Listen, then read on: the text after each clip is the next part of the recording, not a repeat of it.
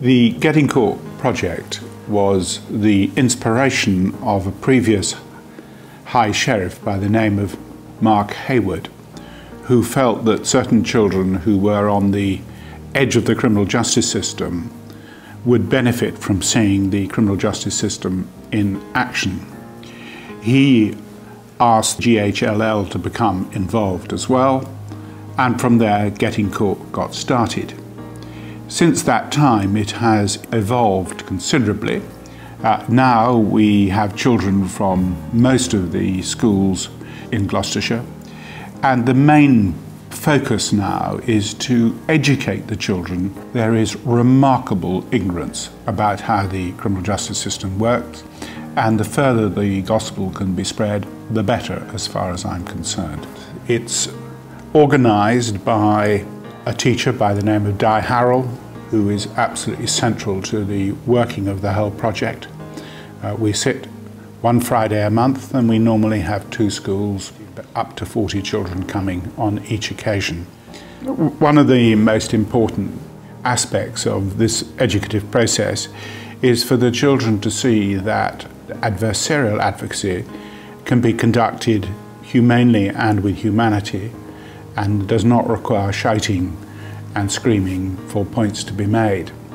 And uh, I hope that this gives the children a sense of confidence and also the ability for themselves to take it on into the real world and argue their cases without the necessity of uh, forcing their point in any way other than in a civilized manner. Of course, many of the persons who come before the court suffer themselves from ill health. Indeed, two of the defendants and a victim in the same case in a court this morning all suffered from various degrees of mental ill health. And one hopes that by this educative process, children who perhaps um, are vulnerable in one way or another can gain not only confidence, but have some security and thereby increase their own well-being by seeing the court process in action in a fair and just way. Altogether, um, some 1,200 years 9 and 10 students have attended court and the judge has taken them through these procedures. Um, the project has been um, supported by uh, Martin Surl, who is the Police and Crime Commissioner. It's been ex extremely successful.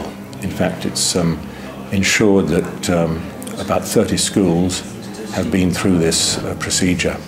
There have been huge benefits for the children. They're not only educational, it acts as a cautionary basis of being able to understand how the law works.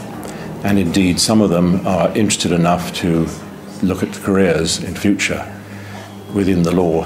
They've been able to come to sentencing days where they can see diverse cases.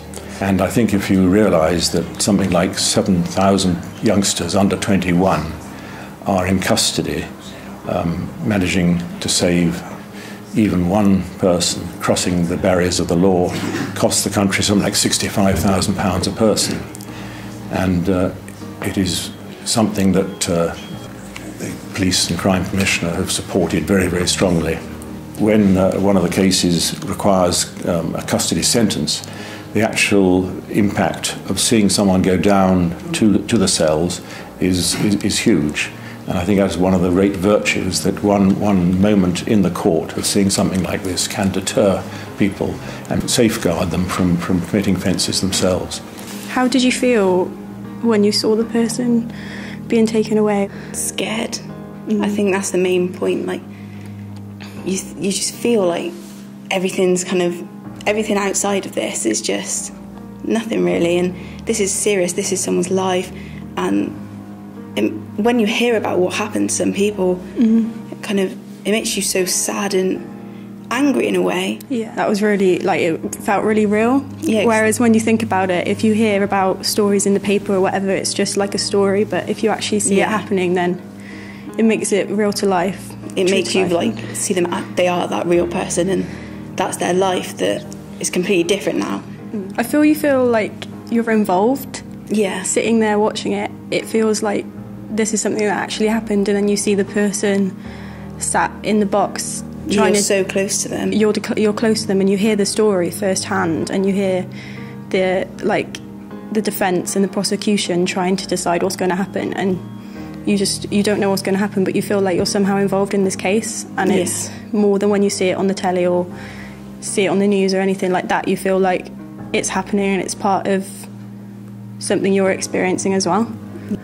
If someone was in that place where they could be about to commit a crime or they could lead in future life some sort of crime, then I think seeing someone being taken away and that sort of their life over for the however many years they're sentenced for, I think it could definitely like deter people from making that decision in their yeah, later it's like life. shock treatment. You kind of realise this is real. This could happen to me, and mm. I think everyone needs to see that, whatever yeah. kind of background you're from. Definitely, it's really important.